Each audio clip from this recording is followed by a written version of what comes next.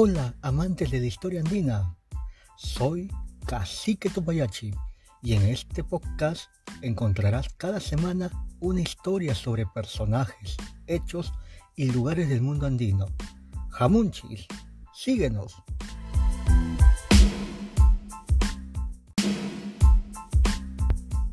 En esta oportunidad hablaremos sobre Felipe Guamán Pomarayala, un cronista indígena que pasó a la eternidad con su obra Nueva Crónica y Buen Gobierno.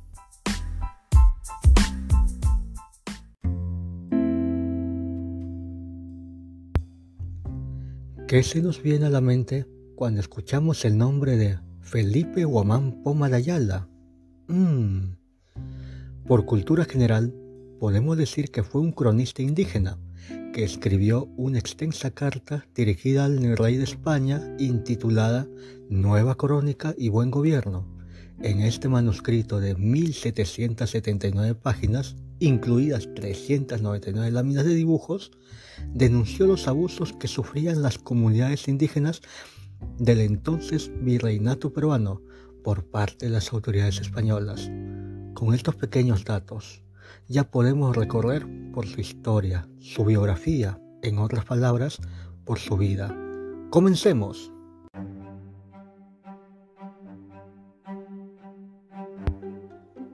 En cuanto a sus orígenes, no se sabe con precisión el lugar y fecha de su nacimiento, mas se sabe que nació en un lugar del distrito de Lucanas, en la región de Huamanga, actualmente en el departamento de Ayacucho que en la antigüedad era un área habitada por varias etnias, entre ellas los Soras, Andamarcas y Lucanas. Estos grupos étnicos fueron considerados como valerosos, fama por la cual se les asignó como misión conducir las literas del Zapa Inca, cuando éste marchaba hacia la expansión de su imperio. Y como sabemos, esto fue mayormente por conquistas. El pueblo donde se cree que nació fue Sondondo, anexo de Santiago de Chipao, a una altitud de 2.900 metros sobre el nivel del mar, que durante la época colonial se le conocía con el nombre de San Cristóbal de Sondondo. Si el lugar de nacimiento no es del todo exacto, imagínense que hasta ahora los estudiosos sobre la vida de Guamampoma no tienen las evidencias contundentes para definir su año de nacimiento, pero es plausible que naciera entre las décadas de 1530 y 1540. Por ejemplo, el historiador Raúl Porras Barrenechea planteó como fecha tentativa de ese del nacimiento para el año de 1534. Guamampoma descendía de un rico linaje indígena por ambos lados de su familia. Por el lado materno, era nieto de Tupac Inca Yupanqui y Mama Ocllo. Recordemos que Tupac Inca Yupanqui fue el noveno gobernante inca del Tahuantinsuyo quien reinó entre los años de 1438 a 1471. Mientras tanto, por el lado paterno, su abuelo fue Guamanchagua, gobernante de la región del Chinchaysuyo y representante de la dinastía de los Yaruilca.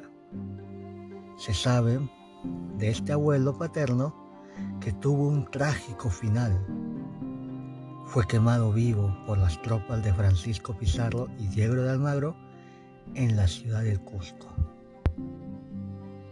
Sabemos que la hija de los abuelos incas y el hijo de los descendientes de los Yarohuilca, Curiogio y Guamamalqui, respectivamente, contrajeron matrimonio y como fruto nació nuestro protagonista. Hasta ahora Podemos decir que Guamampoma provenía de un origen noble y que su condición social le serviría para visibilizarse en el aparato administrativo de la sociedad colonial. Pero ello no se lograría solamente por su condición social, sino que va a tener un aspecto más a considerar, es decir, su educación. Según la costumbre andina, el primer espacio de aprendizaje en la niñez se desarrollaba en el hogar, al lado de la madre. Así, se puede presumir que Guamampoma habría recibido una educación por parte de su madre, doña Juana Curiogio, y luego entraría la figura paterna. Por tanto, Guamampoma habría recibido el aporte cultural de ambas figuras, la materna y paterna. Esta herencia cultural andina se vio complementada con la española. De esta última, Guamampoma aprendió a leer y escribir por el presbítero Martín de Ayala, de quien aprendió seguramente historia sagrada, historia universal, lengua de Castilla, latín y la escritura. Ahora, ¿quién fue Martín de Ayala? Sabemos que era el hermano mestizo de nuestro protagonista, cuyo apellido paterno, es decir, Ayala, Guamampoma lo adoptó por el cariño y aprecio que tenía a su hermano materno. Su educación no quedó ahí. Esta se complementó con sus viajes sirviendo en distintos oficios a las autoridades españolas, y de esto hablaremos a continuación.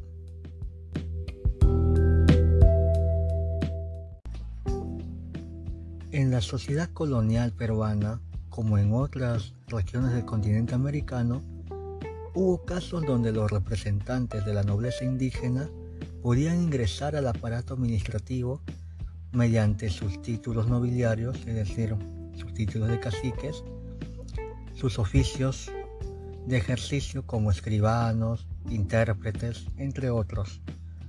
Así, como Guamampoma provenía de la nobleza indígena yacuchana, su caso sería un ejemplo donde la élite andina ingresaba al sistema de cargos y privilegios que la sociedad colonial le permitía acceder. Hagamos un pequeño paréntesis para recordar una situación en estos tiempos. A ver, para los siglos XVI y XVII, es decir, para todo el periodo colonial, acá en Perú, sobre todo, hubo muchos grupos étnicos y cada grupo étnico tenía su propia lengua para expresarse, para comunicarse. Entonces cuando los españoles implantaron todo su aparato administrativo, legal, jurídico, etc., necesitaban de traductores, es decir, de intérpretes que pudieran trasladar la información de los aborígenes, o sea, de los habitantes oriundos de estas tierras. Y para eso mm, consideraban como las personas indicadas en ejercer este oficio a los mismos habitantes andinos, es decir, a estas personas nativas que sabían estas, estas lenguas y mayormente las lenguas que, que se permitía que la población aborigen las hablara era el quechua y el aymara. Y a estas personas que, que podían hablar en español se les llamaba o se les consideraba como ladinos en, en la lengua española. Es decir, eran estos indígenas que su lengua materna era el quechua o el aymara, pero que aprendieron también la lengua española.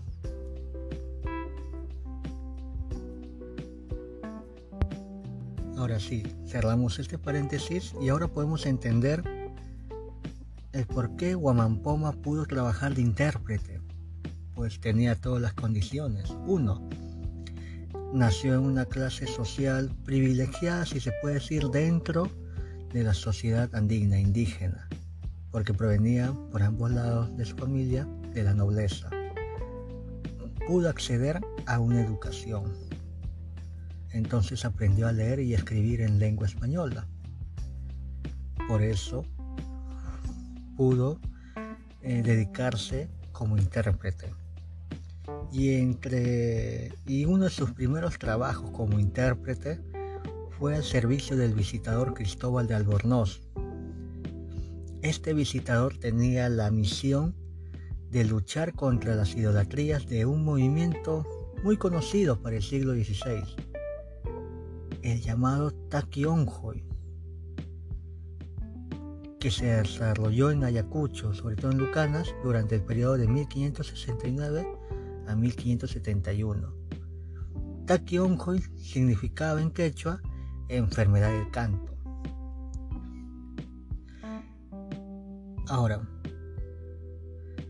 los españoles, al ver este movimiento que ellos consideraban como idolátrico contra la fe, contra la religión católica, contra las buenas costumbres, ya que en palabra de estos, de estos españoles, decían de sus costumbres de los indígenas, que eran borrachos, que bailaban, que tocaban su música del demonio. Entonces por ello mandaron a este visitador para que exterminara.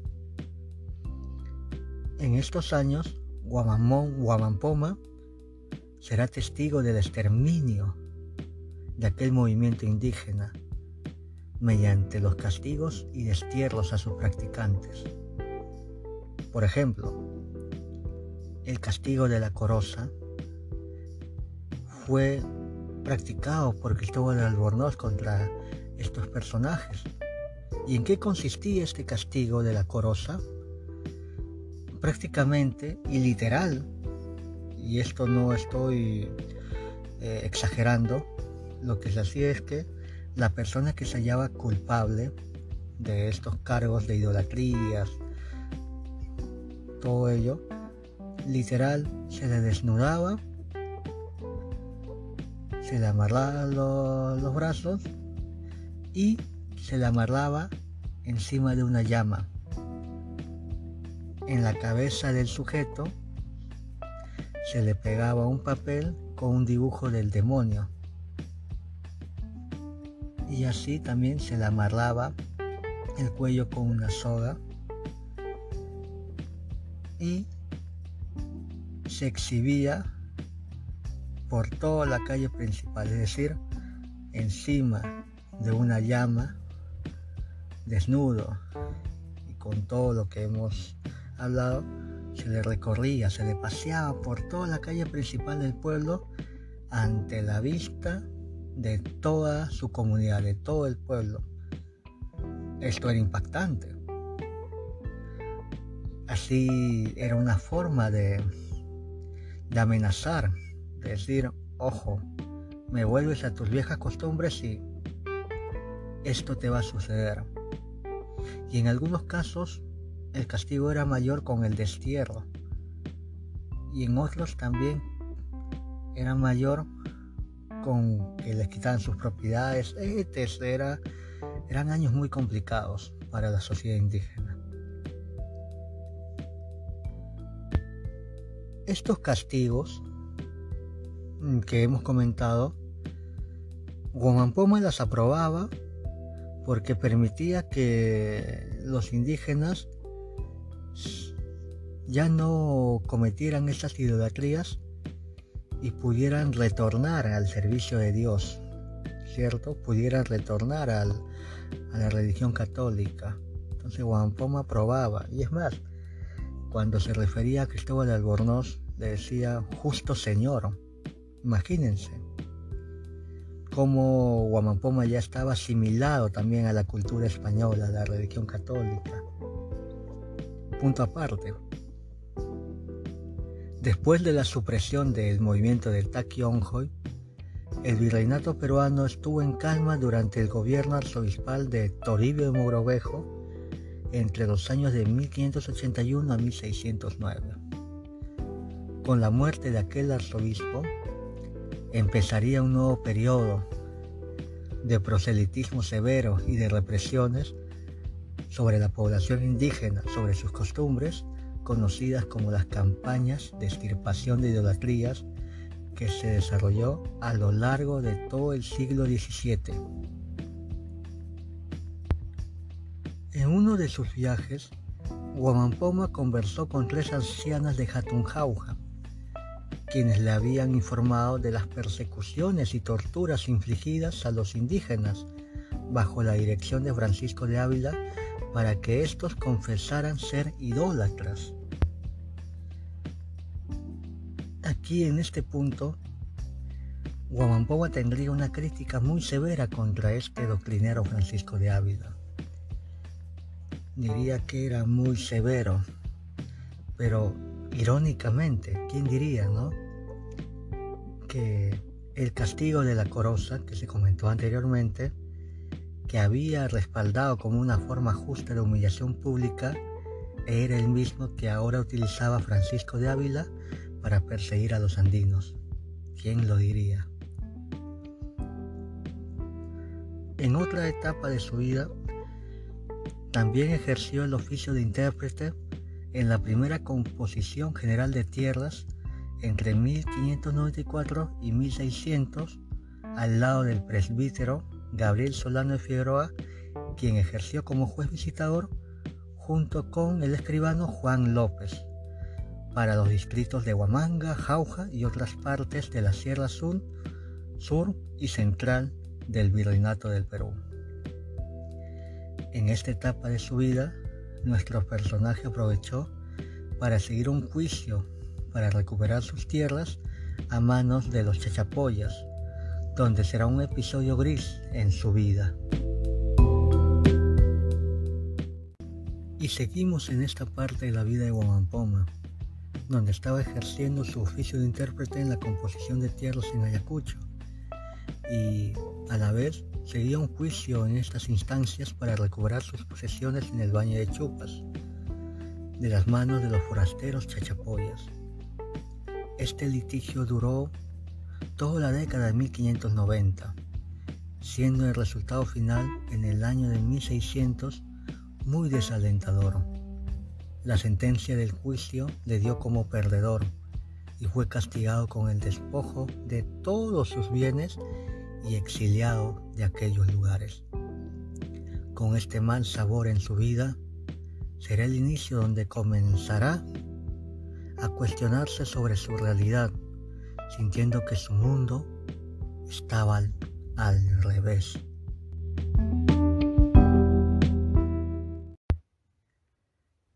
Aquel litigio se le denunció con ser un indio humilde que por embustes se intitulaba cacique y sin ser cacique ni principal, a pesar que el mismo Guamampoma se refería como cacique principal y también teniente de corregidor de indios. Estas graves denuncias, según Guamampoma, era una conspiración entre los colonizadores y los indios comunes, con el objetivo de quitar a los señores étnicos sus cargos heredados.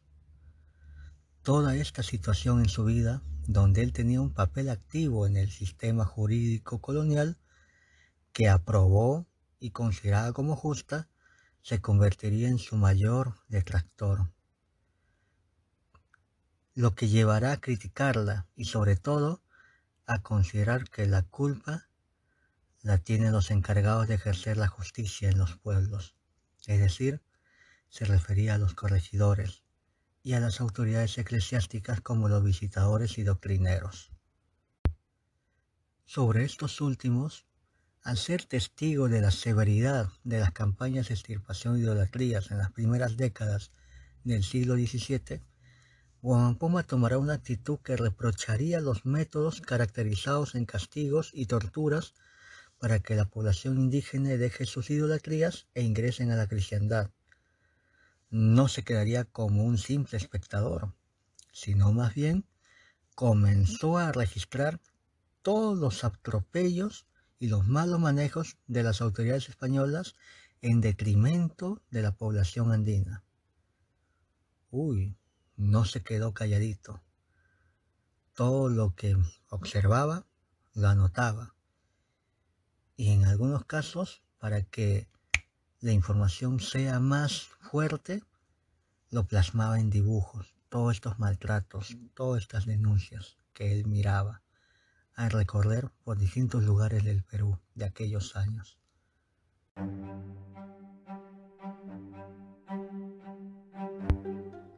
Y no hay remedio. Será la sentencia de Huampoma en su nueva crónica y buen gobierno para expresar la trágica situación de las poblaciones andinas. La crónica comenzó a escribirla después del año 1600, es decir, cuando perdió el juicio por las tierras en Huamanga y lo castigaron con el destierro. Ya con la edad de 80 años, todo cano y flaco y desnudo y descalzo, en el año 1615 emprendió un viaje a Lima, decidido a entregar al virrey el manuscrito de su crónica. Al no ser recibido por este, abandona la ciudad para regresar a su pueblo natal, ya anciano, acompañado de su hijo Francisco. ¿Habrá muerto en Lima o en el camino de su pueblo natal? ¿Quién sabe?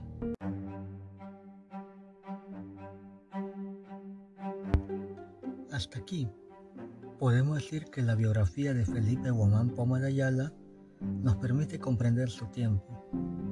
Fue descendiente de la nobleza indígena, se insertó en la estructura administrativa de la sociedad colonial a través de, la, de su educación pero una educación también autodidacta, recordemos eso. Al ser intérprete fue testigo de las maneras de hacer justicia por las autoridades españolas sobre las poblaciones andinas. Avaló la manera como se adoctrinaba a sus contemporáneos en la religión católica. Paradójicamente, estas estructuras, cuando él las, necesitó, por ejemplo en el litigio de sus tierras, le fue esquiva y hasta desastrosa. La experiencia a lo largo de su vida y su educación fueron los soportes necesarios para denunciar con las mismas armas de la cultura española los abusos que sufrían las poblaciones andinas, los mismos abusos del cual no fue ajeno. Por eso, Guamampoma cree firmemente que saber leer y escribir es necesario para el crecimiento de sus coetáneos andinos. Por tanto, él en su crónica solicita al rey, y cito, y si pudiere, en pueblo grande y chica, haya escuela y cristiandad y policía en todo este reino, aunque no quiera los padres y caciques y corregidores. Felipe Guamán de Ayala fue un hombre que se adaptó, creció, sufrió y pasó a la eternidad. Gracias a él, hoy podemos conocer el, el punto de vista andino sobre nuestro pasado colonial.